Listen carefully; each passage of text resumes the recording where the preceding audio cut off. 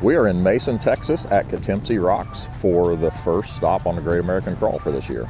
We have lines for everybody, but yes, uh, quite a few. We call it uh, a little more than your average extreme. What good's the roll cage if you don't use it?